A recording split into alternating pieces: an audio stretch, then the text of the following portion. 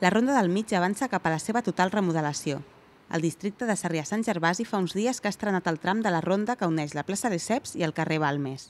S'ha renovat l'arbrat, les voreres s'han eixamplat, s'ha col·locat nou mobiliari urbà i s'ha millorat el paviment.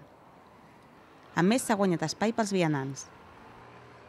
Pues de mejor ha habido bastante, porque yo antes siempre subo al parque de arriba, del Puchet, y ahora pues aquí a la tarde me vengo aquí. A la mañana voy allá arriba y a la tarde vengo aquí.